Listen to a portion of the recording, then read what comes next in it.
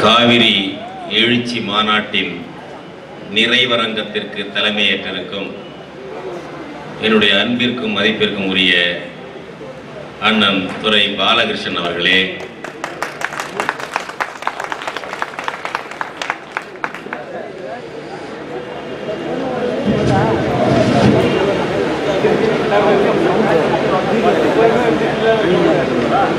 இந்த நிறைவரங்கத்தில் உரையாற்றி இருக்கும் தலைவர்களே தோழர்களே.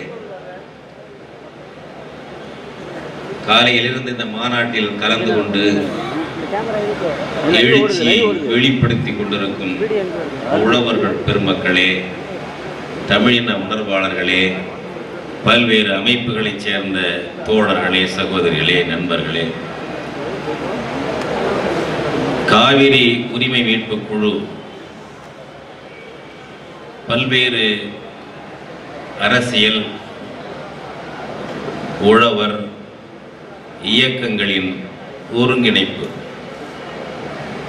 இந்த ஒருங்கிணைப்பு உயிரோட்டமாக செயல்படுகிறது என்றால்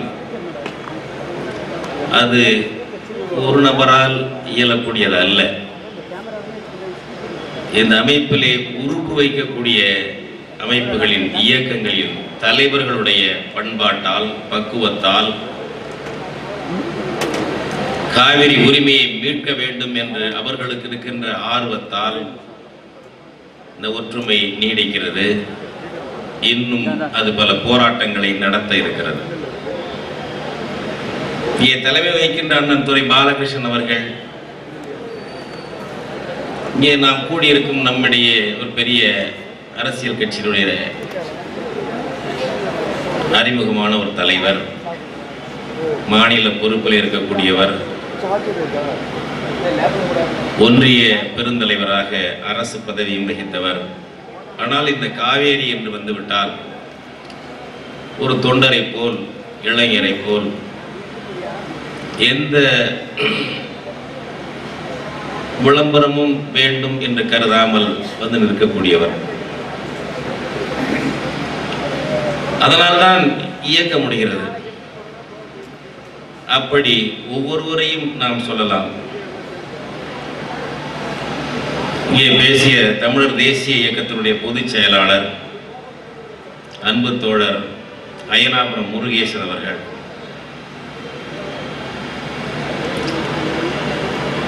வேறு எந்த நோக்கமும் இல்லாமல் தமிழர்களுக்கு உரிமைகள் கிடைக்க வேண்டும். வாழ்க்கை சிறக்க வேண்டும் என்ற லட்சியத்தோடு செயல்படக்கூடிய ஐயா பழ நெடுமாறன் அவர்களுடைய அமைப்பிலே இருந்து இந்த பகுதியில் எல்லோரோடும் இணக்கத்தை பராமரித்து கூட்டு இயக்கங்களுக்கு முன்னோடியாக இருக்கக்கூடியவர். இங்கே எழுச்சி முழக்கமிட்டார் நம்முடைய தோழர் குடந்தை அரசன் அவர்கள். அவர் காவேரி உரிமை போராட்டம் என்று வந்தால் தன்னை அதற்கு ஒப்படைத்துக் கொள்கிறார். அந்த இளைஞர்கள் அந்த தோழர்கள் வந்து எல்லா பணியும் மாற்றுவார்கள். யாருக்கு என்ன முக்கியம் என்ற இந்த பிரச்சனையே வருவதில்லை. இந்த மாநாட்டினுடைய வரவேற்பு குழு தலைவர் தமிழக விவசாயிகள் சங்கத்தினுடைய தஞ்சை மாவட்ட தலைவர் அன்பு சகோதரர் மணிமொழியன் அவர்கள். அவர் மேல்நிலைப் பள்ளியில் தலைமை ஆசிரியராக இருந்து ஓய்வு பெற்றவர். உழவர் பெருந்தலைவர் நாராயணசாமி அவர்களுடைய அணியிலே இருந்து அவர் காலத்திலேயே செயல்பட்டு அறிமுகமானவர். அவரோ அவரை நான் நீண்ட காலமாக அறிவேன் என்றாலும் இந்த காவேரி உரிமை மீட்பு குழு இயக்கங்களில் தான் நெருங்கி பழகக்கூடிய வாய்ப்பு கிடைத்தது. ஒரு உத்தமமான மனிதர். யாருக்கும் எந்த தீங்கும் வந்துவிடக்கூடாது என்று கவலைப்படக்கூடியவர் அப்படி நடந்து கொள்ளக்கூடியவர். இந்த மாநாட்டுக்கு பொருளாளராக பொறியாளர் கோ திருநாவுக்கரசு அவர்கள். அவரவருக்கு நிதி ஒதுக்கீடு செய்தோம். அவர்களாக முன்வந்து ஒருவரும் நிதி பொறுப்பு ஏற்றார்கள். திருநாவுக்கரசு அவர்கள் ஐம்பதாயிரம் ரூபாய் தருகிறேன் என்றார்கள். நாங்கள் அப்பொழுது ஒன்று சொல்லவில்லை. அவர் போய் வசூலிப்பதில்லை. முதலில் இருபத்தஞ்சாயிரம் தந்தார். மறுபடி இருபத்தைந்தாயிரம் கொடுப்பதற்காக என்னை கூப்பிட்டு கொடுத்தார். நான் வாங்க மறுத்தேன். நீங்கள் வசூலிப்பதில்லை திரட்டுவதில்லை நீங்கள் மட்டும்தான் கொடுக்கிறீர்கள். நீங்கள் பாதிக்கப்பட்டால் உங்களுக்கு மட்டும் பாதிப்பல்ல. உழவர் பெறும் மக்களுக்கும் பாதிப்பு இந்த இயக்கத்துக்கும் பாதிப்பு. எனவே வேண்டாம் என்று சொன்னேன். அவர் பிடிவாதமாக கொடுத்தார். இப்படி இது போன்ற இங்கே வாய்த்திருக்கிறது ஒரு இந்த கூட்டமைப்பு. காலையில் கவிதை மழை பொழிந்தாரே திருவரசமூர்த்தி. அவரை நான் காலமேகம் என்று சொல்வது. இம்மென்றால் எழுநூறும் எண்ணூறும் அம்மென்றால் ஆயிரம் பாட்டு ஆகாதா சும்மா இருந்தால் இருப்பேன் எழுந்தேனே ஆகில் பெருங்கால மேகம் பிள்ளாய் என்று காலமேகம் பாடியதைப் போல பேச்செல்லாம் கவிதையாக அவர் பாடுவார். ஆனால் சிறந்த களப்பணியாளர் ஓடி ஓடி உழைக்கக்கூடியவர்கள். அவரோடு பல தோழர்கள் அந்த மயிலாடுதுறை வட்டாரத்திலே சேர்ந்து இயங்கினார்கள் இயங்கிக் கொண்டிருக்கிறார்கள். அப்படி சிதம்பரத்திலே உழவர் முன்னணி ஒரு இருதய சிறுநீரக பாதிப்போடு உள்ள ஒரு தோழர் ஆறுமுகம் அவர்தான் பொறுப்பாளர் மாவட்ட தலைவர் செயலாளர். அவரோடு மற்ற தோழர்கள் எல்லாம் இணங்கி அங்கிருந்தெல்லாம் வண்டி வாகனங்கள் எடுத்துக்கொண்டு வந்திருக்கிறார்கள். நம்முடைய நெல் ஜெயராமன் திருத்துறைப்பூண்டியிலே பல்வேறு அனுபவங்களை உடையவர் நம்மாழ்வாரோடு சேர்ந்து பயணம் செய்தவர். அவர் இந்த கூட்டமைப்பிலே இருந்து கொண்டு செயல்படுகிறார்கள். நம்முடைய வலிவலம் சேரன் அவர்கள் தம்பி விடுதலையிடம் சொன்னேன் பேசுங்கள் என்று முன்கூட்டி அவரிடம் சொல்லிவிடாதீர்கள். மேடை விட்டு கூட இறங்கி விடுவார் தொலைக்காட்சியினரோ பத்திரிகைக்காரர்களோ வந்துவிட்டால் போதும் எட்டி போய் நிற்பார் அஞ்சி கொண்டல்ல அவருக்கு கூச்சம்.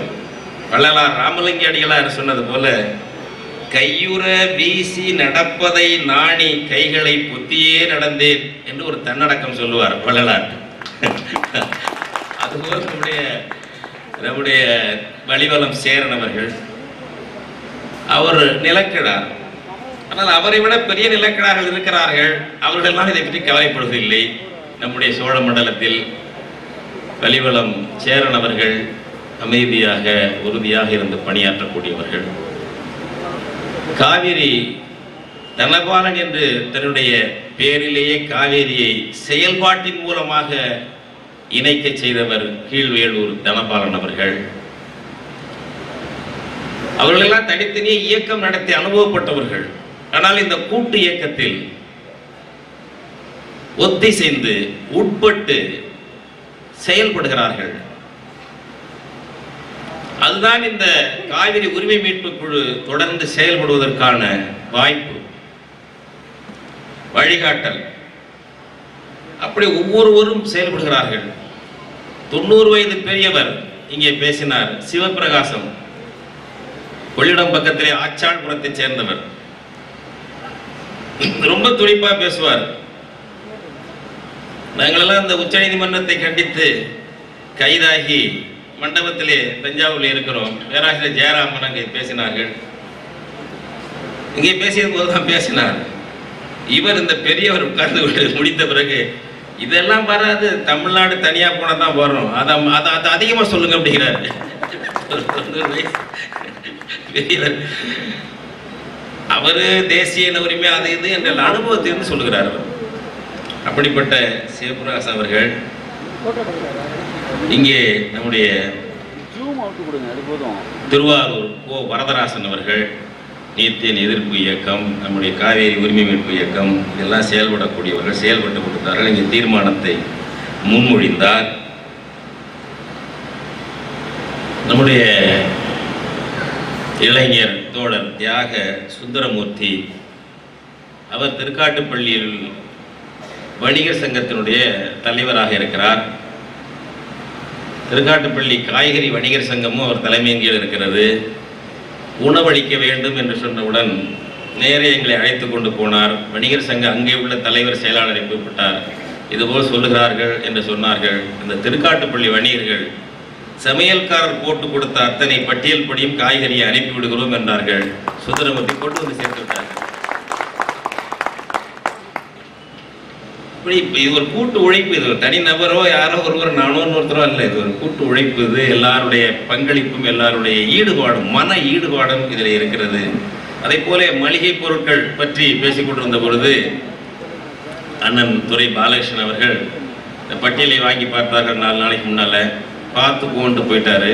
பார்த்து கொண்டு வந்து விட்டார்கள். நேற்று மளிகை பொருட்கள் வந்தது. அதுபோல அண்ணன் துரை கோவிந்தராஜன் அவர்கள் இந்த ம- இந்த மண்டபத்தின் உரிமையாளர் அவர்கள் அனைத்து இந்திய அண்ணா திராவிட முன்னேற்ற கழகத்தின் முக்கிய தலைவர்களில் ஒருவர். திராவிட முன்னேற்ற கழகத்தில் தொடக்க காலத்தில் நாங்கள்லாம் மாணவ பருவத்தில் இருந்த பொழுதே எங்களுக்கெல்லாம் அறிமுகமான ஒரு தலைவர். அவர்களிடம் அழைத்து சென்று இந்த மண்டபத்தை தர வேண்டும் என்றார்கள்.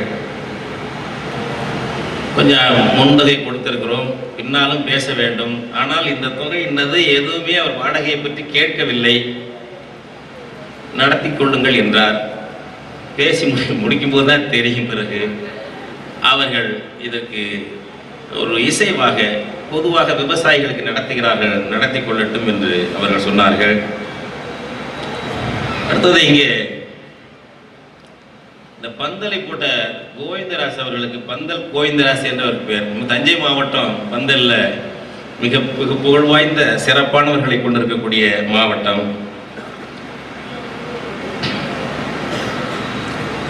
அந்த மாவட்டத்தில் ஏற்கனவே படுவூர் சிவா அவர்கள் இருக்கிறார்கள். பெரும் பந்தல் போடக்கூடிய பெரியவர் அவர். அடுத்த நிலையிலே நம்முடைய கோவிந்தராஸ் அவர்கள் எதுவுமே சொல்ல வேண்டியதில்லை. இந்த பந்தல்ல நம்ம வந்து இதை செய்யுங்க அதை செய்யுங்க கொண்டு வந்து காட்டினோம். பணம் எவ்வளவு பணம் என்று கேட்டால் அவர் ஒன்றும் அன்பளிப்பாக போட்டார் என்று இதை அவர் அச்சப்பட தேவையில்லை. இதை சந்தடி சாக்கில் சொல்ல போகிறார் என்று உரிய கட்டணத்தை கொடுத்து விடுவோம். ஆனால் அவருடைய பண்பு பழக்கம் தம்பி விடுதலை சொல்லி கொண்டிருப்பார் எவ்வளவு தொகை என்று கேட்டால் அதை பார்த்துக்கலாம் அண்ணன் அதை பார்த்துக்கலாம் அண்ணன் அப்படிதான் சொல்லுவார். இந்த தொகை இந்த பந்தலுக்கு இந்த நாற்காலிக்கு என்னது வேணும் அப்படின்னா இவ்வளவு தொகை என்று அவர் சொல்லவில்லை. கட்டாயம் அவர் என்ன சொல்றாரோ கொடுத்து விடுவோம். இது போல எல்லாமே ஈடு ஈடுபாடும் ஒரு நட்பும் பழக்கமும் அக்கறையும் சேர்ந்து இருப்பதால் தான் இது நடந்தது. அதுபோல அரிசி மொத்த வணிகர்கள் சங்கம் அவர்கள் அரிசி கொடுத்து உதவி இருக்கிறார்கள் நம்முடைய அருமை சகோதரர் மணிமொழியன் அவர்கள் அவர்களிடமெல்லாம் பேசி நானூறு கிலோ அரிசி அன்பளிப்பு ஆசிரியர் நம்முடைய சக்தி இருக்கிறது அதெல்லாம் ஒருங்கிணையும் பொழுது இன்னும் இதைவிட பெரிய சாதனைகளை நம்மால் நிகழ்த்த முடியும் என்பதற்கான ஒரு தொடக்கம் தான் இது. இதுவே சிகரம் அல்ல சிகரங்களை எய்த முடியும் என்பதற்கான நம்பிக்கையை ஊட்டுகின்ற ஒரு முயற்சி தான் இன்றைக்கு நடந்திருப்பது. இவ்வளவு பேருடைய கூட்டு உழைப்போடு கூட்டு அக்கறையோடு கூட்டு பணியோடு இந்த நிகழ்ச்சியை நாம் நடத்தி கொண்டிருக்கிறோம். காவிரி உரிமை மீட்பு குழுவை பொறுத்தவரை இந்த நிகழ்ச்சியை மட்டுமல்ல ஒன்றரை ஆண்டுக்கு மேலாக தொடர்ந்து அந்த கூட்டு முயற்சியிலே தான் செயல்படுகிறோம். இன்றைக்கு இந்த அரங்கத்தில் ஐயா நம்முடைய பேராசிரியர் சி. ஆர். சின்னசாமி அவர்கள் குறிப்பிட்டதை போல சிறப்பாக அவர்கள் சுட்டிக்காட்டினார்கள். இது ஒரு கோரிக்கை மாநாடு என்ற அளவில் இல்லாமல் அறிவு வழங்கல் மாநாடாகவும் விவரங்களை சொல்லக்கூடிய மாநாடாகவும் திறனாளர்களுடைய கருத்துக்கள் வெளிப்படக்கூடிய வாய்ப்பை அரங்குகள் வைத்து உருவாக்கி இருக்கிறீர்கள் என்று நம்முடைய பேராசிரியர் சின்னச்சாமி அவர்கள் சொன்னார்கள். அந்த முறையில் வியக்கத்தக்க பேச்சு. காலையில் பேசிய முன்னாள் தலைமை பொறியாளர் பரந்தாமன் ஆகட்டும் நம்முடைய பொறியாளர் ஐயா காந்தி ஆகட்டும். காந்தி இவ்வளவு வேகப்படுவார் என்று அவர் பேரை பார்த்தவர்கள் நம்ப மாட்டார் நம்பியிருக்க மாட்டார்கள். நான் அவர் பேசி முடித்ததும் சொன்னேன். நீங்கள் இதை அப்படியே ஒரு கட்டுரையா எழுதி கொடுங்கள் என்று. எனக்கு அவ்வளவு எழுத்து வருமான்னு தெரியல. ஆவேசப்படும் போது தான் அப்படி பேச முடியும் அப்படின்னாரு. அப்படி பொறியாளர் காந்தி அவர்கள் உங்களில் பல பேருக்கு நம்முடைய பேராசிரியர் ஜெயராமன் புதிதாக அறிமுகம் புதிதாக பேசுவார் என்று நினைத்திருக்கலாம். அவர் எவ்வளவு கடினமான கொள்கைகளையும் எளிதாக மக்களிடம் சேர்க்கக்கூடிய ஆற்றலை பெற்றவர் இயல்பான ஆற்றலை பெற்றவர். இங்கே பேசினார்கள். அவர் மயிலாடுதுறை அன்பநாதபுரம் வகையரா அறக்கட்டளை கல்லூரி இருக்கிறது ஏவிசி கல்லூரி. அதிலே வரலாற்று துறையினுடைய துறை தலைவராக இருந்த முனைவர் தா. ஜெயராமன். அந்த முனைவர் தா. ஜெயராமன் அவர்கள்தான் ஓய் பணி ஓய்வுக்கு பிறகு இன்றைக்கு மீத்தேன் திட்ட எதிர்ப்பு கூட்டு இயக்கத்தின் தலைமை ஒருங்கிணைப்பாளராக இருந்து பம்பரமாக சுழன்று கொண்டிருக்கிறார் அந்த பகுதியிலே. செயல்பட்டு கொண்டிருக்கிறார். இவர்களெல்லாம் இந்த அரங்கத்தில் அறிவார்ந்த கருத்துக்களை வழங்கினார்கள். அதை போலே நம்முடைய அருமை தோழர் திருச்சி வழக்கறிஞர் தா. பானுமதி அவர்கள் இந்த இழப்புகளுக்கெல்லாம் என்ன பின்னணி என்பதை இங்கே எடுத்து சொன்னார்கள். காலையிலேயே நல்ல தொடக்கமாக அமைந்தது.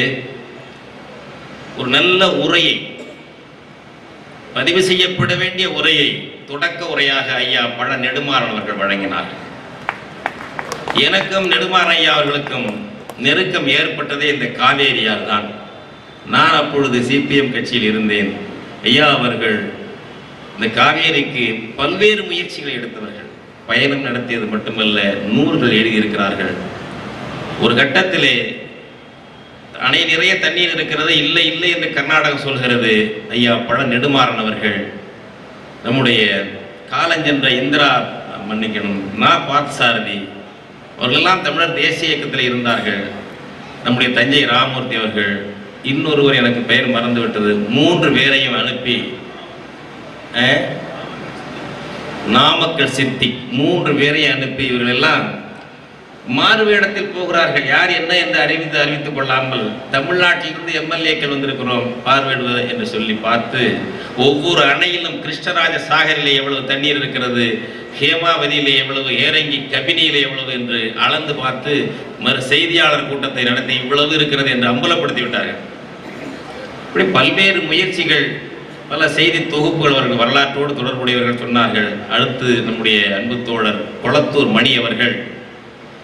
இன்னும் அவர் அதிகமாக பேசியிருக்க வேண்டும். சுருக்கமாக பேசிவிட்டார். ஒரு சிறந்த அனுபவம் அவர் பட்டறிவு.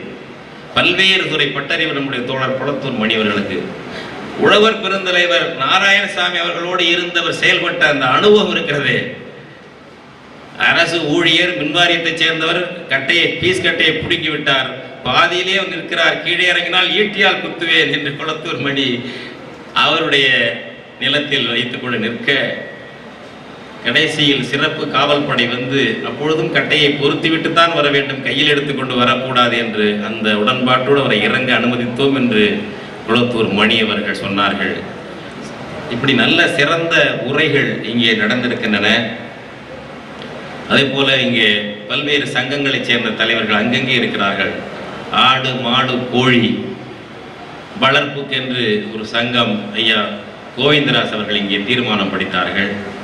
அதே போல பள்ளத்தூர் முருகையன் அவர்கள் பல்வேறு பகுதிகளிலே வெவ்வேறு அமைப்புகளை வைத்து உழவர் பெருமக்களுக்காக இயக்கங்கள் நடத்தக்கூடிய தோழர்கள் எல்லாம் நண்பர்கள் எல்லாம் ஒருங்கிணைந்து இந்த காவிரி உரிமை மீட்பு குழு என்பது ஒரு கூட்டு இயக்கமாக செயல்பட்டு கொண்டிருக்கிறது. நாங்கள் இதை தொடங்கும் பொழுது ஒவ்வொரு தடவை கூட்டம் நடத்தும் பொழுதும் ஒரு உறுதித்தான் ஏற்றுக்கொள்கிறோம். காவேரி என்றால் தண்ணீர் வராத ஆகஸ்ட் செப்டம்பர் மாதங்களிலே போராடி பிறகு ஓய்ந்து விடுவது என்று இருக்கக்கூடாது. இந்த உரிமையை நிலைநாட்டுவதற்கு நிரந்தரமான ஒரு ஏற்பாட்டை செய்ய வேண்டும். இந்த உரிமையை நிலைநாட்டுவதற்கு நிரந்தரமான ஒரு ஏற்பாட்டை செய்ய வேண்டும்.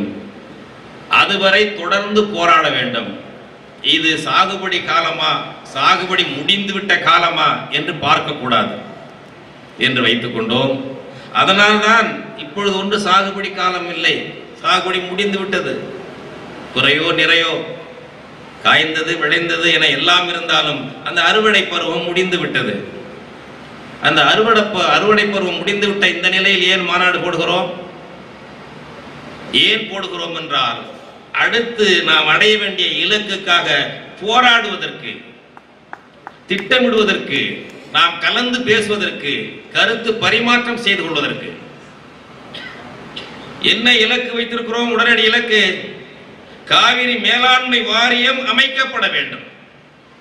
இதுதான் உடனடி இலக்கு. காவிரி மேலாண்மைய வாரியம் அமைத்து காவிரி ஒழுங்குமுறை குழு அமைக்கப்பட வேண்டும். இதற்கான விவரத்தை தீர்ப்பாயம் தன்னுடைய இறுதி தீர்ப்பிலே சொல்லி இருக்கிறது தோழர் கி. வெங்கட்ராமன் அவர்கள் அந்த பகுதியை படித்து காட்டினார். நாம் நிறைவேற்றிய தீர்மானத்திலும் அந்த பகுதி இருக்கிறது. நீதிபதிகளே மூன்று நீதிபதிகள் தீர்ப்பாயத்தில் இருந்த மூன்று நீதிபதிகள் அவர்கள் ஒருமித்து சொல்லுகிறார்கள். நாங்கள் ஒரு தீர்ப்பு கொடுத்தால் அது நிறைவேறும் என்பதற்கு உத்தரவாதம் இல்லை கடந்த காலத்தில் அதற்கான சான்று இல்லை. ஏனென்றால் இடைக்கால தீர்ப்பை கர்நாடகம் நிறைவேற்றவில்லை. வெறுமனே நீதிமன்றத்துக்கு தமிழகம் அலைந்து கொண்டிருக்கிறது. இப்பொழுது இந்த தீர்ப்பும் செயல்பட வேண்டுமானால் இதற்கு பக்ரானங்கள் அணையில் நீர் நிர்வாகம் செய்யக்கூடிய ஏற்பாட்டை போல ஒரு மேலாண்மை வாரியம் அமைக்கப்பட வேண்டும் என்று அவர்கள் கூறுகிறார்கள். அதை போல ஒரு இருபது ஆண்டு காலம் அனுபவம் உள்ள தலைமை பொறியாளராக இருந்த இந்த பிரச்சனைக்குரிய மாநிலங்களை சேராத ஒரு அதிகாரி தலைமையில் அந்த மேலாண்மை வாரியத்தை அமைக்க வேண்டும் என்று சொல்லுகிறார்கள். அதில் உறுப்பினர்கள் யார் யார் எப்படி இருக்க வேண்டும் என்பதெல்லாம் சொல்லுகிறார்கள். அந்த வாரியத்தை ஏன் இந்திய அரசு அமைக்க மறுக்கிறது? கடந்த ஆண்டு பிப்ரவரி பத்தாம் பத்தொன்பதாம் தேதி அரசிதழிலே வெளியிட்டார்கள். அதுவும் உச்சநீதிமன்றம் கெடு விதித்து நெருக்கடி கொடுத்த பிறகு வேறு வழி இல்லாமல் வெளியிட்டார்கள். அப்பொழுதே இந்த மேலாண்மை வாரியத்தை அமைத்திருக்க வேண்டும். மேலாண்மை வாரியம் அமைக்க வேண்டும் என்று தமிழக அரசு வழக்கு தொடுக்கும் பொழுது கர்நாடகம் எதிர்க்கிறது. உடனே இந்திய அரசு அதற்கு செவி சாய்க்கிறது. முடியாது வேண்டாம். உச்ச நீதிமன்றம் இதை விசாரித்து விசாரித்து இதிலே ஒரு முடிவு காணாமல் தள்ளி போட்டுக்கொண்டே போகிறது. கடந்த ஆகஸ்ட் மாதம் அந்த வழக்கு வந்தது தமிழக அரசு போட்ட வழக்கு. அப்பொழுது இப்பொழுதுதான் மழை மழை நிறைய பெய்கிறது. வருணோக பகவான் கருணை வைத்திருக்கிறார். ஒன்றும் அவசர பிரச்சனை இல்லை. அடுத்த ஆண்டு இதை விசாரித்துக் கொள்ளலாம் என்றார்கள். இரண்டாயிரத்தி பதினாலில் விசாரித்துக் கொள்ளலாம் என்றார்கள். அதன் பிறகு மூன்றனை கட்டுவதற்கு அவர்கள் திட்டமிட்டார்கள். நம்முடைய ஒகேனக்கல் பில்லிகுண்டுலு அதற்கு மேலே முப்பத்தஞ்சு கிலோமீட்டரில் ஆடுதாண்டு காவேரி என்ற பகுதியில் கன்னடத்திலே மேக்கே தாட்டு என்று கூறப்படுகின்ற அந்த பகுதியில் மூன்று அணைகள். இந்த மூன்று அணைகளின் மொத்த கொள்ளளவு ஐம்பது டிஎம்சி திட்ட மதிப்பீடு அறுநூறு கோடி ரூபாய். கர்நாடக அமைச்சரவை அங்கீகரித்து விட்டது. இதை எதிர்த்து தமிழக அரசு ஒரு வழக்கு போடுகிறது. இந்த வழக்கு போடும்போது உச்சநீதிமன்றம் என்ன சொல்லுகிறது பாருங்கள். கர்நாடகம் தனது ஆளுகைக்கு உட்பட்ட இடத்தில் எதை செய்தாலும் அதை தமிழகம் எதிர்க்க கூடாது. மழை நன்கு பெய்து நீர்வரத்து சீராக உள்ளது. போதிய நீர் கிடைப்பதை கடவுள் கவனித்துக் கொள்வார். அண்டை மாநிலத்துடன் தமிழக அரசு எதற்கெடுத்தாலும் சச்சரவில் ஈடுபடக்கூடாது. இந்த தீர்ப்பு என்றைக்கு வழங்குகிறார் அந்த கருத்தை மூணு பன்னெண்டு ரெண்டாயிரத்தி பதிமூணு அன்று நாலு பன்னெண்டு ரெண்டாயிரத்தி பதிமூணு பதிமூணு அன்று ஏடுகளிலே இந்த செய்தி வந்திருக்கிறது. அண்டை மாநிலத்தோடு தமிழகம் எதற்கெடுத்தாலும் சச்சரவு செய்யக்கூடாது என்றால் எதற்கு சச்சரவு செய்திருக்கிறது? கர்நாடகம் தான் சச்சரவு செய்கிறது நம்மை அடித்திருக்கிறது. தொண்ணூத்தொன்னு நவம்பர் டிசம்பரில் அப்பொழுது உச்சநீதிமன்றத்தினுடைய தீர்ப்புப்படி இடைக்கால தீர்ப்பு அரசிதழிலே வெளியிடப்பட்டது நரசிம்மரா பிரதமராக இருக்கும் பொழுது. பங்காரப்பா என்ற காங்கிரஸ்காரர் முதலமைச்சராக இருந்தார். ஒரு அதை கண்டித்து ஒரு முழு அடைப்பு நடத்தினார். கெசட்டிலே போட்டதை கண்டித்து குண்டர்களை ஏவி விட்டு தமிழர்களை தாக்க செய்தார். எத்தனை தமிழர்கள் படுகொலை செய்யப்பட்டார்கள். எத்தனை தமிழருடைய வீடுகள் எரிக்கப்பட்டன கர்நாடகத்திலே. காலங்காலமாக கர்நாடகத்தை தாயகமாக கொண்டு வாழும் தமிழர்கள் வீடுகள் எரிக்கப்பட்டன. தமிழ் திரைப்படம் ஓடிய திரையரங்குகள் கொளுத்தப்பட்டன. தமிழர் வணிக நிறுவனங்கள் சூறையாடப்பட்டன. பெண்கள் பலவந்தம் செய்யப்பட்டார்கள். ரெண்டு லட்சம் தமிழர்கள் கர்நாடக தமிழர்கள் அகதிகளாக தமிழ்நாட்டுக்கு ஓடி வந்தார்கள். நாம சச்சரவு செய்தோம். நாம் நம்முடைய தலைவர்கள் என்ன செய்தார்கள்? இங்கே என்ன அரசு செய்தது? அகதி முகாம் திறந்தது. அகதி முகாம் திறந்தது. வேற எதுவும் செய்யவில்லை. இதை பார்த்து கொண்டிருந்த கேரளம் தான் காவிரி உரிமையை மீட்க ஒரு வலுவான ஆயிரத்தி தொள்ளாயிரத்தி இருபத்தி நாலு ஆண்டு ஒப்பந்தம் இருந்த பொழுதும் கூட காவிரி உரிமையை மீட்க தமிழர்களால் முடியவில்லை தக்க வைக்க முடியவில்லை. தமிழர்களை தாக்கினால் கூட திருப்பி அவர்கள் கன்னடர்களை தாக்குவதில்லை. அந்த மாநிலத்தினுடைய தலைவர்கள் கர்நாடகத்துக்கு போய் கண்டனம் செய்வதில்லை. எனவே அவர்கள் அழிந்து அழிவார்கள். அந்த அழிவை ஒப்பாரி வைத்து பேசிக் கொண்டிருப்பார்கள். அதே பாணியில் கர்நாடகம் செய்த பாணியில் நாமும் தமிழர்களை தாக்குவோம் என்று இரண்டாயிரத்தி பதினொன்னிலே ஆரம்பித்தார்கள். முல்லை பெரியாரிலே தண்ணீர் விட வேண்டும் என்று அல்லது நூத்தி ஐம்பத்தி ரெண்டு அடி தேக்க வேண்டும் என்று யாராவது கேரளத்தில் உள்ள தமிழர்கள் போராடினார்களா? எதுவும் இல்லாத அமைதியான காலத்தில் நம்முடைய தமிழக அரசனுடைய வாகனங்களை தாக்கினார்கள். தமிழ்நாட்டில் இருந்து போனவர்களை குமுளி பகுதியிலே பல்வேறு பகுதிகளிலே கம்பம் மெட்டு போடி மெட்டு பகுதிகளிலே தாக்கினார்கள். ஐயப்ப சாமி கோயிலுக்கு போன தமிழக பக்தர்களை தாக்கினார்கள். குமுளியிலே நம்முடைய பொதுப்பணித்துறை அலுவலகம் இருக்கிறது அவர்களுடைய பிள்ளைகள் பொறியாளர்கள் மற்றவர்களுடைய பிள்ளைகள் கும்பிடியிலே உள்ள பள்ளிக்கு போகின்றன. அந்த பிள்ளைகள் பள்ளிக்கூடத்துக்கு போக முடியவில்லை. தாக்கினார்கள் கல்லெறிந்தார்கள் அவர்கள் வீடுகளிலே. போய் புகார் கொடுத்தால் குமிழிலே உள்ள மலையாள காவல் நிலையம் அந்த புகாரை வாங்க மறுத்தது. ஒரு மாதம் தமிழர்களை தாக்கினார்கள். ஒரு மாதம் தமிழர்களை அடித்தார்கள். யாரால் தடுக்க முடிந்தது? இங்கே நம்முடைய தோழர்கள் அறிஞர் பெருமக்கள் இந்த கேள்விகளை எல்லாம் காலையிலே கேட்டிருக்கிறார்கள்.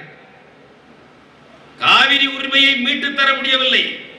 இங்கேதானே பல பல பட்டங்களை போட்டுக் கொள்கிறீர்கள் தலைவர்களுக்கு. கர்நாடகத்திலே அரசியல் தலைவர்களுக்கு பட்டங்கள் கிடையாது. கேரளத்திலே அரசியல் தலைவர்களுக்கு பட்டங்கள் கிடையாது. ஏதோ தமிழ்நாட்டிலே போர் நடப்பதை போல போருக்கு தலைமை தாங்குவது போல பட்டங்களை புனைந்து கொள்கிறீர்களே தலைவர்களே. காவிரியை மீட்க முடிந்ததா? அடித்தானே கன்னடன் நீ திருப்பி அவரை அடிக்க வேண்டாம். கர்நாடகத்திலே போய் ஏண்டா அடித்தா என்று ஒரு கண்டன பேரணி நடத்த முடிந்ததா? அல்லது அவனுடைய முதலமைச்சரிடம் போயாவது முறையிடமாவது செய்தீர்களா? கொளுத்தப்பட்ட தமிழர்களுடைய வீடுகளை போய் பார்த்தீர்களா? சூறையாடப்பட்ட தமிழருடைய வணிக நிறுவனங்களை போய் பார்த்தீர்களா? இரண்டு ஆண்டுகளுக்கு முன்பாக ரெண்டு அல்லது மூன்று ஆண்டுகளுக்கு முன்பாக அஸ்ஸாமிலே பீகாரிகளை தாக்கினார்கள்.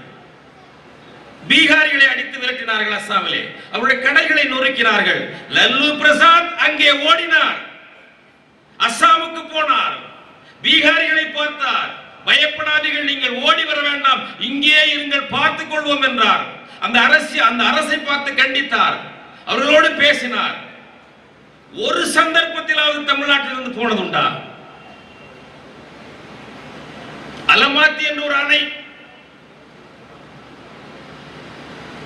கர்நாடகத்துக்கும் ஆந்திரத்துக்கும் இடையிலே அலமாத்தி கிருஷ்ணா நதியிலே அலமாத்தி என்ற இடத்திலே அணை கட்டி இருக்கிறார்கள் தேவகவுடா பிரதமராக இருக்கிறார். அதை வைத்துக் கொண்டு ஒப்பந்தத்துக்கு விரோதமாக ரெண்டு அடி உயர்த்தி கொண்டார்கள் கர்நாடகத்திலே. அலமாத்தி அணையுடைய உயரத்தை உயர்த்தி கொண்டார்கள். அதிகமாக தண்ணீர் தேங்கிவிடும். ஆந்திரத்துக்கு போக வேண்டிய தண்ணீர் போகாது.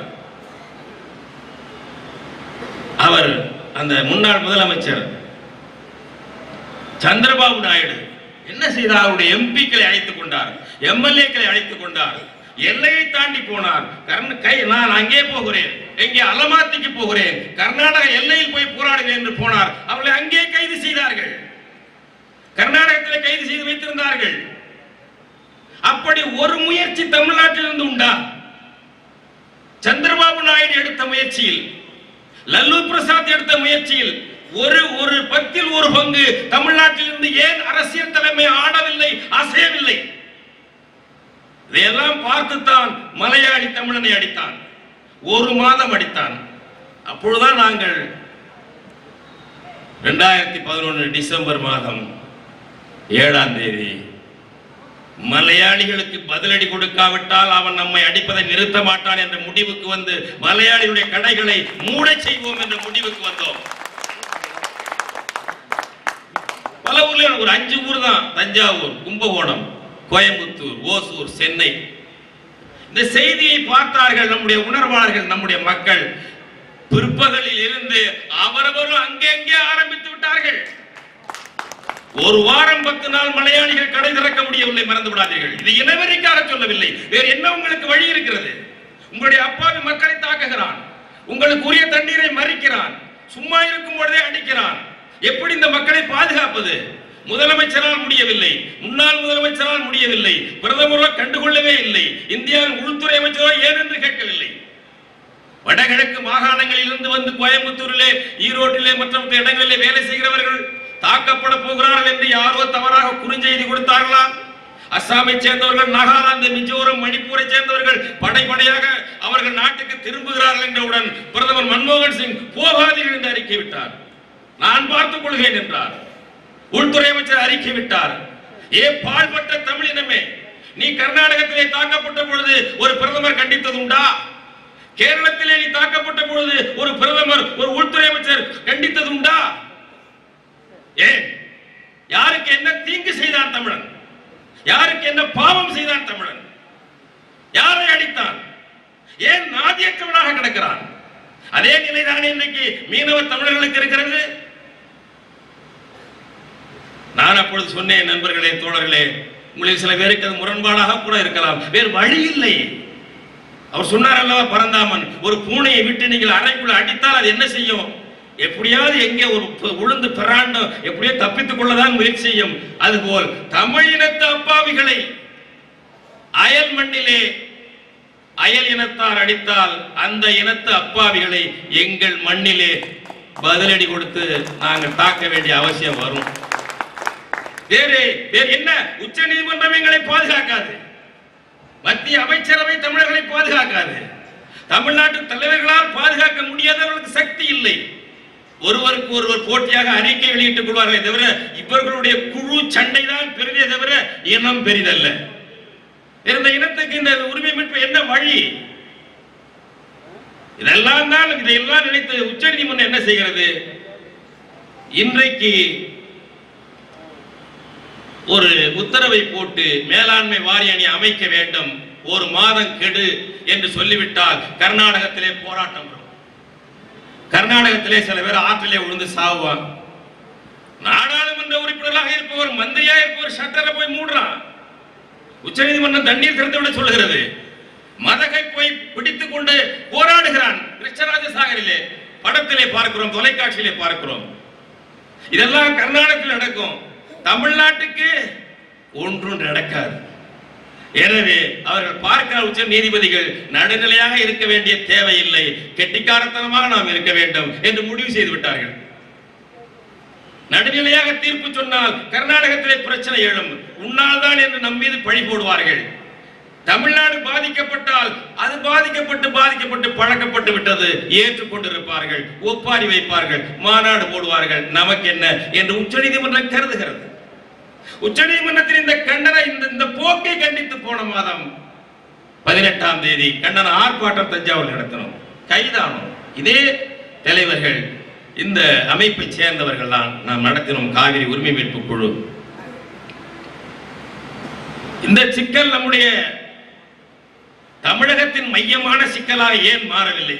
நீங்க கேட்க வேண்டிய எந்த கட்சியில் இருந்தாலும் சரி. இந்த காவேரி உரிமை மீட்பு குழுவை பொறுத்தவரை கட்சி சார்பற்றது. கட்சிகள் இருக்கலாம் விவசாய சங்கங்கள் இருக்கலாம் அவரவர் விருப்பத்துக்கு ஓட்டு அளிக்கலாம் ஓட்டு அளிக்காமலும் இருக்கலாம். கம்பர் சொன்னார் அல்லவா ஒன்றே எண்ணின் ஒன்றேயாம் பலவே என்று பலவே எண்ணின் பலவேயாம் அன்றே எண்ணின் அன்றேயாம் ஆம் என்றுரைக்கின் ஆமேயாம் இன்றே எண்ணின் இன்றேயாம் உள்ளதே என்று உள்ளதே என்றுரைக்கின் உள்ளதேயாம் நன்றே நம்பி குடிவாட்டு என்பது போல நீங்கள் வாக்கும் அளிக்கலாம் வாக்கு அழிக்காமல் இருக்கலாம் எந்த கட்சிக்கும் போடலாம் அதை பத்தி எங்களுக்கு பிரச்சனை இல்லை. நமக்கு இப்பொழுது ஒரே கட்சி அது காவேரி கட்சி. இதில் நிற்போம் எல்லாரும் நிற்போம். தமிழ்நாட்டில் மாநில தழுவிய மைய பிரச்சனையாக இது ஏன் மாறவில்லை? இந்த காவேரி பிரச்சனை. தயவு செய்து எல்லாரும் அதை சிந்திங்க கேளுங்க அவங்கவுங்களும் கேளுங்க. பேராசிரியர் சின்னச்சாமி சொன்னார்கள் இது உங்க டெல்டா பிரச்சனை மட்டுமல்ல தமிழ்நாட்டின் முக்கால் பாகத்துக்கு குடிநீர் பிரச்சனைங்க. சென்னைக்கு போகிறது வீராணத்திலிருந்து குடிநீர். ராமநாதபுரத்துக்கு போகிறது முக்கம்பிலிருந்து குடிநீர். திருப்பூருக்கு போகிறது வேலூருக்கு போகிறது. வேற என்ன வேண்டும்? தமிழ்நாட்டின் முக்கால் பாகத்திற்கு குடிநீர் இந்த காவேரி தான்.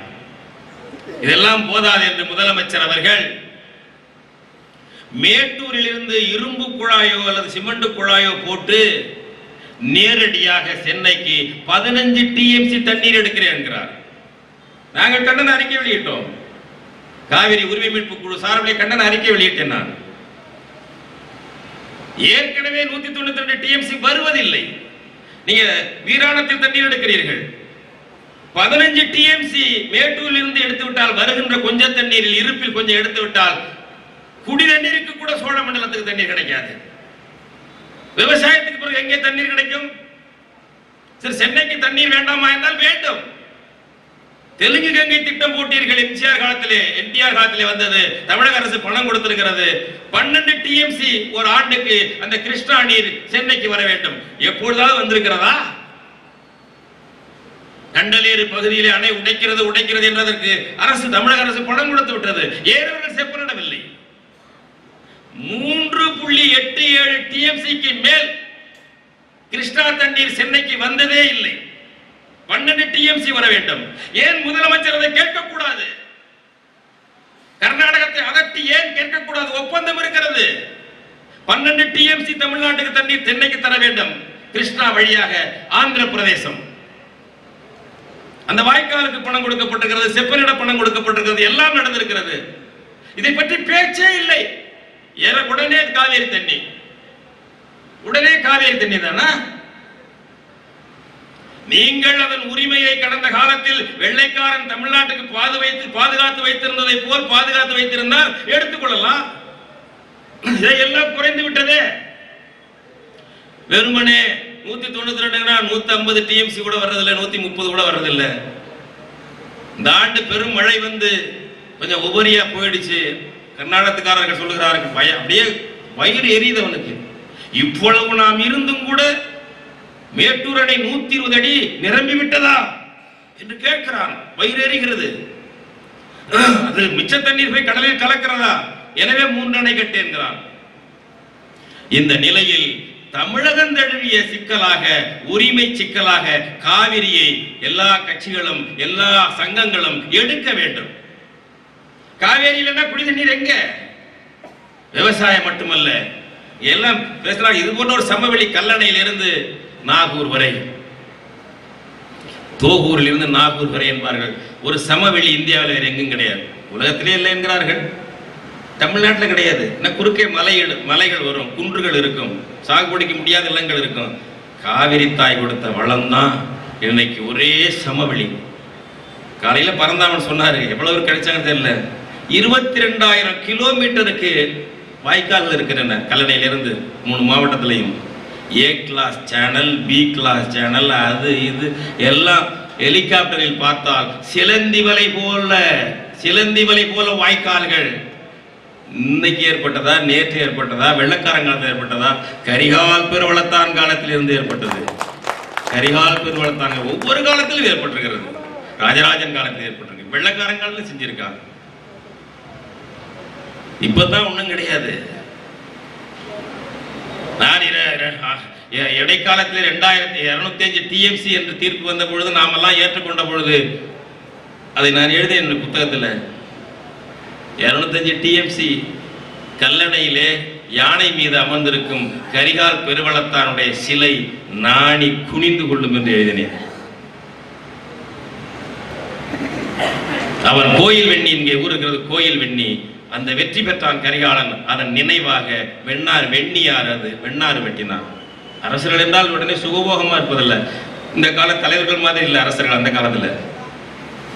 அவ்வளவு கஷ்டப்பட்டவர்கள் போர்க்களத்தில் விழுப்புண் ஏற்றவர்கள். சில பேர் சுகபோகமாக இருந்திருப்பார்கள்.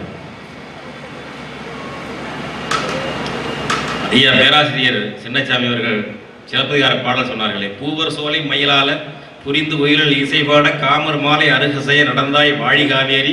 காமர் மாலை அருகசைய நடந்தவெல்லாம் என் கணவன் நாமவேலின் திறம் கண்டு அறிந்தேன் வாழி காவேரி. இப்படியெல்லாம் அழகா பூக்கள் மிதந்து வர மயில்கள் ஆட குயில்கள் பாட ஒய்யாரமா ஓடி வருகிறாயே காவேரி. உனக்கு இந்த ஒய்யாரம் பெருமிதம் எப்படி வந்தது என்றால் உன்னுடைய கணவன் சோழனுடைய வேல் படையின் திறத்தினால் வந்தது. ஏன் அதை சொல்றான்? என்னத்துக்கு சொல்றான்? அடைச்சிருவான் அப்பவே அடைச்சிருக்காங்க. நாம வேலின் வேல். இந்த மாப்பிள்ளை இல்லை இல்ல. பல்லுக்கு போடுற இல்லு. நாம வேலின். வேல்படையின் திறத்தினால் எதிரிய ஒடுக்கி வச்சிருக்கான். நீ அதனாலதான் பயம் இல்லாம ஓடி வருகிறாய் காவேரியே என்று இளங்கோவடிகள் பாறைதான் என்றால் அது எவ்வளவு பெரிய வரலாற்று உண்மை கொண்டது அது. அழகு பாட்டு அல்ல அது. காதல் பாட்டு தான் பாட்டுதான் பாட்டு தான் கண்ணகி மாதவிக்கும் கோவலனுக்கும் பிணக்கு வருவதற்கான காரணமாக இருந்த பாட்டு தான் ஆனால் தமிழ் இனத்தின் வரலாற்றை சொல்லி வைத்தான் புலவன். பனிரெண்டாம் நூற்றாண்டிலே இரண்டாம் குலோத்துங்கன் மகன் இரண்டாம் ராசராசன் ஆண்டு கொண்டிருக்கிறான் தஞ்சையை சோழ மண்டலத்தை. அங்கே மைசூரை போசல வம்சத்து அரசன் முதலாம் நரசிம்மன் ஆண்டு கொண்டிருக்கிறான். அந்த முதலாம் நரசிம்மன் காவேரியில் குறுக்கே மைசூருக்கு அருகே மலைபோல் செயற்கை மலைபோல் மண்ணையும் கல்லையும் கொட்டி காவேரியை தடுத்து விட்டான் போக்கை மாற்றி விட்டான். வறட்சியாகிவிட்டது பஞ்சம் போனது சோழ மண்டலம். இதை அறிந்து ஓலை அனுப்பினான் இரண்டாம் ராசராசன். திறந்து விடு மரியாதையாக என்று. திறக்க மறுத்தான். அடுத்தது நம்முடைய அரசியல் தலைவர்கள் போல பின்வாங்கி விடவில்லை ஓய்ந்து விடவில்லை இச்சகம் பேசிக்கொண்டு தெரியவில்லை. படை கொண்டு போனான். இரண்டாம் குலோத்துங்கன் மகன் இரண்டாம் ராசராசன். படை கொண்டு போய் அது இங்கே சொல்லுகிறார்கள் தொடர்ந்து கடிதம் எழுதி கொண்டே இருக்கவில்லை என்று. ஆமாம் உண்மைதான். ஒரே ஒரு தடவை தான் ஓலை எழுதினான். முக்கியமான செய்தி அது ஹிஸ்டரி ரிப்பீட்ஸ் இட் செல்ஃப் என்ற ஒரு கோட்பாடு இருக்கிறது. வரலாறு தன்னையே திருப்பி காட்டும் என்பார்கள். இது பாருங்க அப்பவும் ஒவ்வொரு ஓலை அனுப்பியிருக்கான் இப்பவும் நம்ம முதலமைச்சர்கள் கடிதம் எழுதி கொண்டிருக்கிறார்கள். ஆனால் வேறுபாடு ஒரு ஓலை அதற்கு பலன் இல்லை என்றவுடன் படையெடுத்து போனான் இரண்டாம் ராசராசன். அணையை உடைத்தான் காவிரியை சிறை மீட்டான். ஒட்டக்கூத்தர் தக்கையாக பரணியிலே இந்த நிகழ்வை பாடுகிறார். அலை கொன்று வரு கங்கை. கங்கைன்னா ஆற்ற பொதுவா சொல்றது. அலை கொன்று வரு கங்கை வாராமல் அடைக்கின்ற குன்று ஊடு அறுக்கின்ற பூதம். அலை கொன்று வருகங்கை வாராமல் அடைக்கின்ற குன்றூடு அறுக்கின்ற பூதம்.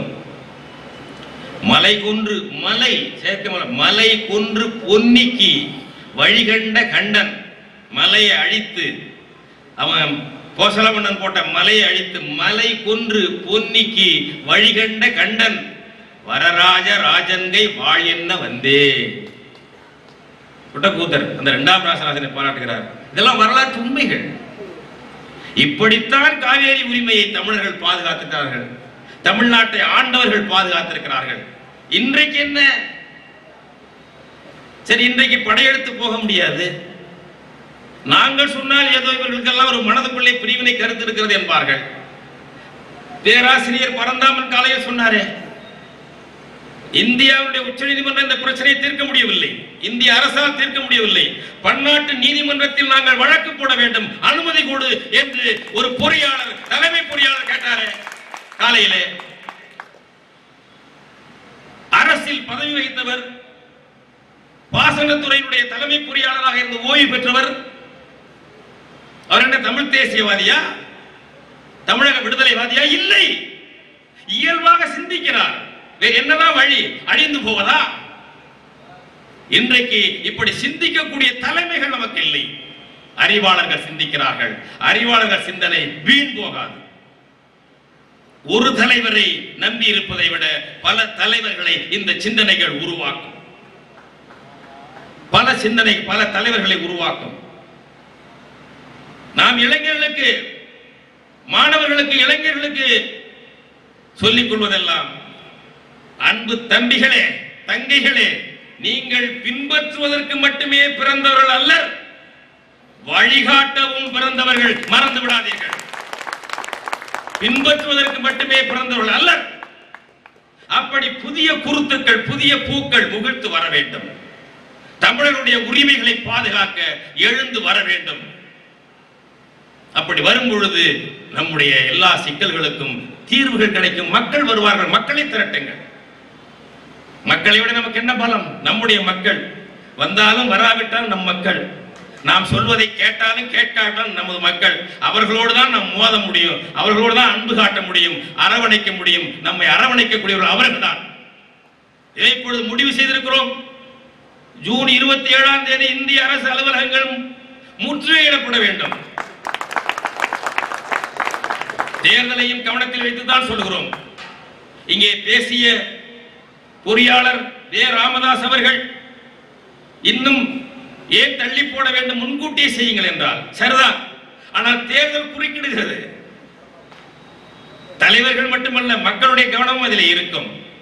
அது ஒரு ஜனநாயக கடமையுமாக இருக்கிறது. எனவே நாம் ஒரு வாய்ப்பை தருகிறோம். இந்த தேர்தல் அப்போ ஆட்சி அமைப்பு எல்லாம் மே மாதத்தோடு முடிந்துவிடும். ஜூன் மாதம் ஐந்தாம் தேதிக்குள் ஏனென்றால் பன்னெண்டாம் தேதி தண்ணி திறக்க வேண்டும். ஐந்தாம் தேதிக்குள் காவேரி மேலாண்மை வாரியத்தை அமைக்கிறேன். நாளைக்கே அமைக்கலாமே. நாளை மறுநாள் அமைக்கலாமே. இது என்ன ஜூன் மாதம்? இந்த மார்ச் மாதத்தில் அமைக்கலாமே. ஒன்றும் தவறு கிடையாது. இது ஒன்றும் சலுகை கிடையாது. தேர்தல் தேதி அறிவிக்கப்பட்ட பிறகும் அமைக்கலாம். இது ஒன்றும் சலுகை கிடையாது. இலவசம் கிடையாது. ஏற்கனவே உச்சநீதிமன்றத்தின் தீர்ப்பு இது. நிர்வாக ப- பணி. எனவே நாம் மக்களுடைய உளவியலை கணக்கெடுத்துக் கொண்டு சொல்லுகிறோமே தவிர தேர்தல் தேதிய அறிவிக்கப்பட்ட பிறகும் கூட காவிரி மேலாண்மை வாரியம் அமைக்கலாம். அதனாலதான் ஜூன் ஐந்தாம் தேதி வரை நாம் ஒரு கெடு கொடுக்கிறோம். இல்லை என்றால் இருபத்தி ஏழாம் தேதி திருச்சி தஞ்சை நாகப்பட்டினம் திருவாரூர் அங்கே கடலூர் இந்த தலைநகரங்களிலே இந்திய அரசு அலுவலகம் எது முக்கியமாக வரி வசூல் அலுவலகத்தை பாருங்கள். நம்ம அஞ்சலக நம்ம ரயில்வேல பின்னிட்டு நம்முடைய வரியை கொள்ளையடிக்கிறான். இங்க உற்பத்தி வரி உற்பத்தி வரி வருமான வரி சுங்க வரி அலுவலகங்கள் இருக்கின்றன மாவட்ட தலைவர்கள் இருக்கின்றன ஒரு நாள் முழுக்க அது செயல்படாமல் தடுக்க வேண்டும். எப்படி அருள் கூர்ந்து கைது செய்வார்களா என்று கேட்கக்கூடாது. நான் கூட இன்னொன்று நினைக்கிறேன் நம்மவர்களே பட்டியல் எடுக்கலாம். நாளிலிருந்தே பட்டியல் எடுக்கலாம். கைதானால் சிறைக்கு போக தயாராக வர வேண்டும். அது இருதய நோக்கி இஞ்சி முறப்பா சாப்பிட்டா தேவலா போகுமான்னு பார்க்க கூடாது மனித மூளை எளிய வழிகளையே நாடுகிறது. ஆனால் எளிதாக நடப்பதில்லையே. கைதாகணும் சிறைக்கு போகணும். சிறை சௌரியமா தான் இருக்கு இதை விட பலர் போராடி சிறையில் பல உரிமைகளை பெற்றிருக்கிறார்கள். ஒன்றும் குறைவில்லை. பெருமையா சொல்லிக் கொள்ளலாம். நான் இத்தனை நாள் சிறையில் இருந்தேன் போனேன்னு சொல்லி. காவேரிக்காக சிறைக்கு போவது வரலாற்று பெருமை இல்லையா? சாதாரண விஷயம் அது காவேரிக்காக போவது வரலாற்று பெருமை. பெருமிதம் கொள்ளக்கூடியது. சிறைக்கு போன பிறகு ஒவ்வொருத்தரும் சான்று அளிப்போம் அவங்க பிள்ளை பேர பிள்ளை அதை வச்சு பார்த்துக்கிட்டோம். இந்த பெயர் பட்டியல் எடுக்க வேண்டும். சிறைக்கு போக வேண்டும் உற்பத்தி வரி எக்ஸைஸ் அலுவலகம் இன்கம் டாக்ஸ் வருமான வரி அலுவலகம் சுங்க வரி கஸ்டம்ஸ் எங்க இருக்கிறதோ அதை பாருங்கள். அங்கே முற்றுகையிட்டு அந்த அலுவலகம் செயல்படாமல் முடக்கப்பட வேண்டும். ஒரு நாள் முழுக்க. நாங்க போனோம் வந்தோம் என்று இருக்கக்கூடாது. ஒரு நாள் முழுக்க அணி அணியா விடுங்க. இதெல்லாம் மனசை தயார் பண்ணுங்க. இந்த ஐந்தாம் தேதி இல்லை என்றால் ஆறாம் தேதியிலிருந்து இருபத்தி ஆறாம் தேதி வரை ஜூன் மாதம் தெருமுனை கூட்டங்கள் பரப்புரை இயக்கங்கள் நடை பயணங்கள் என்று நாம் இந்த டெல்டா மாவட்டங்களில் இதுதான் பேச்சாக இருக்கும்படி மாற்ற வேண்டும். மக்களிடம் கருத்துக்களை கொண்டு போக வேண்டும் பேச வேண்டும் இதற்கு அர்ப்பணித்துக் கொள்ள வேண்டும். இந்த கட்சிகளுக்கெல்லாம் தேர்தலோட வேலை முடிஞ்சிடும் கட்சிகளில் இருக்கக்கூடிய இன உணர்வாளர்கள் உரிமை மீட்பு எண்ணம் கொண்டோர் உழவர்கள் இல்ல கட்சியில இல்லாதவர்கள் எல்லாருமாக சேர்ந்து செயல்படக்கூடிய வாய்ப்பு ஜூன் ஆறாம் தேதி இருந்து நமக்கு கிடைக்கிறது. அந்த இருபத்தி ஏழாம் தேதி ஒரு ஒரு மாற்றத்தை உண்டாக்க வேண்டும். மாற்றம் என்றால் எதிரியிடம் மாற்றம் வருகிறதோ இல்லையோ நம்முடைய செயலில் போர்க்குணத்தில் ஒரு மாற்றம் வர வேண்டும். இவன் பழைய தமிழ் இல்லப்பா புதுசா வந்துட்டாங்க. விடமாட்டான் போல இருக்கிறது. என்று எதிரி நினைக்க வேண்டும். அப்படிப்பட்ட போராட்டத்தை முற்றுகை போராட்டத்தை நாம் நடத்துவோம். மீத்தேன் போராட்டம் நாம் சேர்ந்து நடத்த வேண்டிய போராட்டம். அது வேறு இது வேறு அல்ல இரண்டு ரெண்டு அபாயங்களாக நமக்கு இருக்கிறது. காவேரி போராட்டம் நடத்தக்கூடிய நாம் மீத்தேன் திட்டத்தை நுழைய விடக்கூடாது. பேராசிரியர் ஜெயராமன் அவர்கள் அதை பற்றி விரிவாக இங்கே சொல்லியிருக்கிறார்கள். ஏற்கனவே பல நண்பர்கள் காவேரி உரிமை மீட்பு குழுக்கு அப்பால் உள்ள நண்பர்களும் நடத்தி கொண்டிருக்கிறார்கள். யார் நடத்தினாலும் மீத்தேன் வரக்கூடாது என்பதில் ஒத்த கருத்தில் ஒருங்கிணைந்து நாம் நடத்துவோம். மீத்தேன் திட்ட எதிர்ப்பு போராட்டத்தையும் நாம் நடத்த வேண்டும். எவ்வளவுதான் நாம் நடத்துறது என்ன இதெல்லாம் நடத்தாமல் இருப்பதற்கு எதிரி உங்களை சும்மா விட்டுருக்கிறானா? நாம திணிக்கிறோமா அந்த போராட்டத்தை எல்லாம்? சும்மா இருக்கக்கூடாதுப்பா அப்படின்னு சொ- நாம திணிக்கிறோமா? உங்களை ஒரு நிமிடம் கூட வாழவிட முடியாதபடி அவ்வளவு தொல்லைகள் தருகிறார்கள். அவ்வளவு உரிமை பறிப்பு நடக்கிறது. எதிர்கொண்டுதான் ஆக வேண்டும். முகம் கொடுத்துத்தான் ஆக வேண்டும். எனவே இந்த போராட்டத்தையும் மீத்தேன் எதிர்ப்பு போராட்டத்தையும் நாம் நடத்த வேண்டும். அதற்கான தீர்மானம் போட்டிருக்கிறோம். இன்னொரு முக்கிய செய்தி குடகு மலையிலே இன்னைக்கு தீர்மானம் இங்கே நாம் போட்டிருக்கிறோம். குடகு மலையிலே அந்த காவேரி மழை பொழியும் பகுதியிலே வறண்டு போகக்கூடிய ஒரு சூழலை உருவாக்குகிறார்கள். மைசூரில் இருந்து கோழிக்கோட்டுக்கு மின் மின்பாதை போடுகிறார்கள். அறுபது அடி அகலத்துக்கு எடுக்கிறேன் என்று சொல்லி நூறு அடு நூறு அடி அகலத்திற்கு காடுகளை வெட்டுகிறார்கள். அங்கே முனைவர் நஞ்சப்பா என்பவர் தலைமையில் காவேரி புரொடெக்ஷன் கமிட்டி காவேரி பாதுகாப்பு குழு என்று வைத்து போராடி கொண்டிருக்கிறார்கள். நாம் இங்கே காவேரி உரிமை மீட்பு குழு என்று வைத்து நடத்துவதை நம்முடைய தோழர்கள் நம்முடைய பிள்ளையார்பட்டி தம்பி கரிகாலன் மூலம் அவருடைய அண்ணன் சகோதரன் மூலம் அவர்கள் அறிந்து அங்கிருந்து ஒருவர் வந்து ஒரு நிர்வாகி வந்து நம்ம எல்லாம் பார்த்து நாங்கள் எல்லாம் நம்முடைய ஐயா மணிமொழியன் ஐயா முருகேசன் மற்றொரு நண்பர்கள் எல்லாம் சந்தித்தோம். மற்றவர்களை அவர்கள் சந்தித்தார்கள். நம்முடைய ஆதரவர்கள் கேட்டார்கள். தொலைபேசியில் என்றால் அடிக்கடி பேசுகிறார்கள். இருபத்தி ரெண்டாம் தேதி மடிக்கரை காவேரி உற்பத்தியாகும் மாவட்டம் மடிக்கரை மடிக்கரி என்கிறார்கள். அங்கே ஒரு ஆர்ப்பாட்டம். நம்முடைய தோழர்கள் ஓசூர் மாரிமுத்து தலைமையிலே ஐந்து தோழர்கள் போனார்கள். நாம் இந்த மாநாட்டு வேலை இருந்தால் நாம் போக முடியவில்லை நிறைய பேர் போக முடியவில்லை. அவர்கள் உச்சி மோந்து வரவேற்றிருக்கிறார்கள். தமிழ்நாட்டிலிருந்து வந்து விட்டார்கள். கன்னடர்களை நாம் எதிர்க்கிறோம். ஆனால் காவேரியை பாதுகாக்க காவேரிக்கு ஒரு ஆபத்து அதன் தோன்றும் இடத்திலே வந்தால் கன்னடர்களும் தமிழர்களும் சேர்ந்துதான் போராட வேண்டும். அந்த போராட்டத்திலே மண்டியா மாவட்டத்து விவசாயிகள் மட்டுமல்ல குடகு குடகு மொழி பேசக்கூடிய மக்கள். அவர்கள் தமிழ் எளிதாக புரிந்து கொள்கிறார்கள் தமிழ் பேசுகிறார்கள் அந்த மக்களும் சேர்ந்து போராடுகிறார்கள்.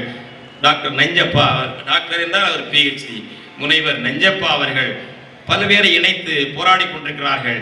அந்த தமிழக முதலமைச்சர் அவர்கள் அந்த மின்பாதையை மாற்ற வேண்டும் என்று பிரதமருக்கு கடிதம் எழுத வேண்டும் நேரில் சந்தித்து வலியுறுத்த வேண்டும் கண்டன அறிக்கை வெளியிட வேண்டும். ஏனென்றால் குடகிலே மழை இல்லை என்றால் காடுகள் அழிந்தால் மழை இருக்காது. காவேரி அங்கே வறண்டால் நமக்கும் வராது. அந்த முறையில் அந்த காவேரியை உற்பத்தியாகும் இடத்திலேயே அதற்கு சேதாரத்தை உண்டாக்கக்கூடிய வறட்சியை உண்டாக்கக்கூடிய கேடுகளை செய்கிறார்களே அதை தடுப்பதற்கும் நாம் போராட வேண்டும். இந்த முழு நாள் நில நிகழ்விலே கருத்தரங்குகளிலே அறிஞர் பெருமக்கள் வல்லுனர்கள் இயக்க தலைவர்கள் கூறிய பல்வேறு சிறப்புமிக்க கருத்துக்களை செறிவூட்டப்பட்ட கருத்துக்களை உள்வாங்கி இருக்கிறோம் இவற்றையெல்லாம் மறுபடி அசை போட்டு செறித்து கொண்டு நாம் அடுத்த கட்டத்துக்கு முன்னேற வேண்டும். போராட்டத்திற்கு தயாராக வேண்டும் என்று கேட்டுக்கொண்டு இவ்வளவு சிறப்பாக எழுச்சியாக கலந்து கொண்ட அனைத்து உழவர் பெருமக்களுக்கும் உணர்வாளர்களுக்கும் அரசியல் இயக்கங்களைச் சேர்ந்த தோழர்களுக்கும் உழவர் அமைப்புகளைச் சேர்ந்த தோழர்களுக்கும் நண்பர்களுக்கும் சகோதரிகளுக்கும் ஏற்பாடு செய்த எல்லாருக்கும் நான் மீண்டும் பாராட்டுக்களை தெரிவித்து காவிரி உரிமை மீட்பு குழு சார்பிலே நன்றியை தெரிவித்து விடைபெறுகிறேன். நன்றி வணக்கம்.